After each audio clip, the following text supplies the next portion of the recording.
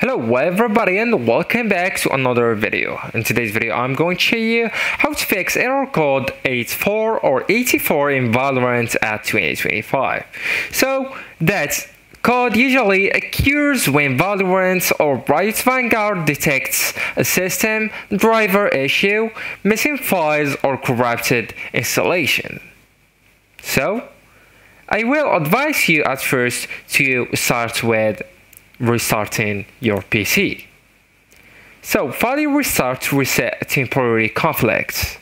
Then just go ahead and after it's restarted of course, right click on Valorant and then click on run as administrator.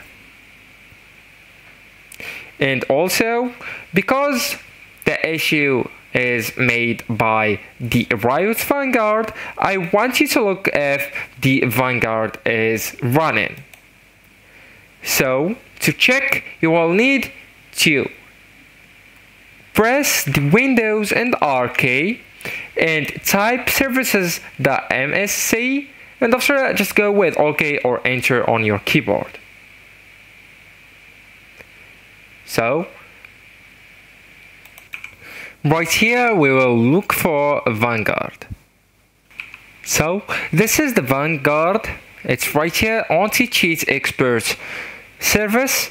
If you can't find that one, so you will need to install Riot Vanguard.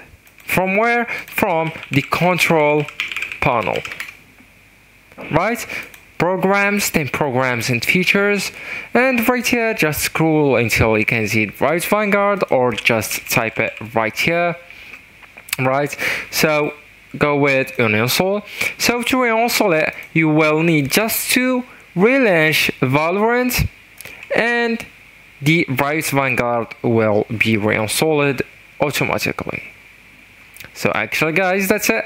Thank you so much for watching and goodbye.